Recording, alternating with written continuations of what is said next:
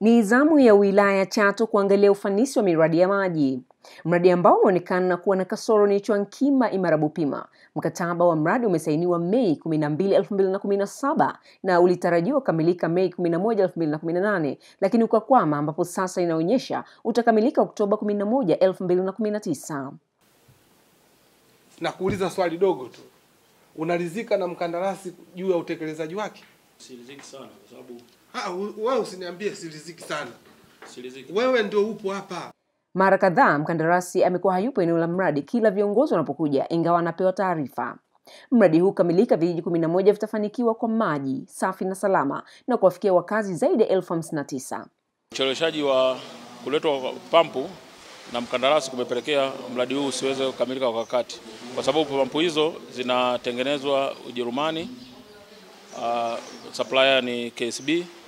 Kwa hiyo hizo pampu zimechelewa kufika. Uh, baada ya kuzungumza na mkandarasi ameahidi kwamba pampu hizo zita, zitafika. Zimechelewa kwa ajili ya kwamba zilikuwa zinatengenezwa, kwa sababu hizo pampu zinatengenezwa kwa oda. Wananchi nao wanatoa kilio chao cha adha wanayoipata kwa mradi kutokamilika. Kwa kweli hapa Nyamirembe tunahangaika kwa maji tunayofuata Mwaroni ni usumbufu sana. Tulikuwa tunaomba mtusaidie kwa maji, mtuweke mtuwekee mradi wa kutusukumia maji ili kusudi tuwe wepesi wa kupata maji. maji Mwaroni wanapambana na sababu nyingi, aidha kuna mamba na nini. Kwa ile maana changamoto ni nyingi sana. Ugumu wake tunaenda kuchota Mwaroni, tunaliwa na mamba. Tunachotaka tunataka maji. Naibu Waziri Aweso anatoa maagizo. Mimi niwaombe sana, moja, tumwombe mkurugenzi kwa maana ya mkuu wa wilaya hili alisimamie huyu bwana, wafate taratibu kwa maana ya mwanasheria wa halmashauri ili kuweza kupitia mkataba wake na kuweza kuachana naye.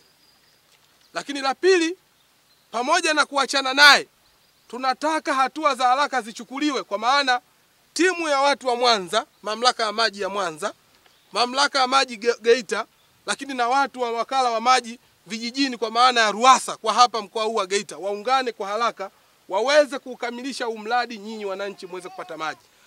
Aidha, mradi huu umefikia asilimia 80 kwa upande wa ujenzi wa miundombinu ya maji na asilimia mia moja upande wa uletaji mabomba. Salma Mrisho, Star TV, Geita. Bofya kitufe cha subscribe kisha gusa alama ya kengele kupata taarifa za Star TV muda wote wakati wowote.